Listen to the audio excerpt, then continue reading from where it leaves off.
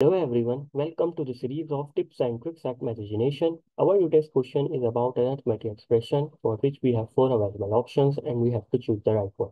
If you are new to this channel, please subscribe this channel Mathegination so that you can learn more tips and tricks about mathematics. Now, before going to the solution, let's first see what is the basic rule to solve any arithmetic expression in mathematics. To solve any arithmetic expression in mathematics, we have the basic rules called BODMAS or PEMDAS. BODMAS or PEMDAS says if you are given any arithmetic expression, solve the bracket first, i.e. exponents, if they are present in your expression.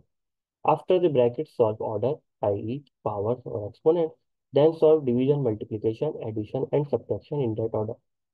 Please note that division multiplication is in the board BODMAS, whereas PEDMAS says multiplication and division.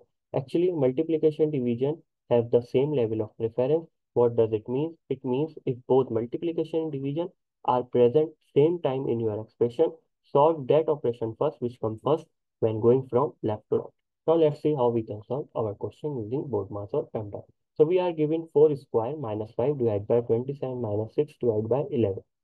Since we have to first solve according to BODMAS or PEMDAS the brackets, so we have to solve these brackets simultaneously. So in the brackets, when we see we have our exponent terms are. So we have to solve it first. So we first solve 4 square, which is 16 minus 5. Divided by 27 minus 6 gives 11. Divided by 11 as it is.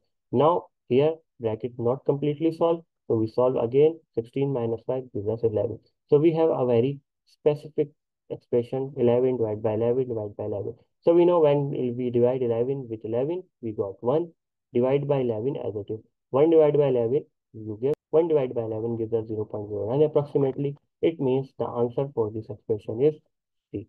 I hope you enjoyed this video. If you like this one, share with your friends and colleagues. Until the next video, bye.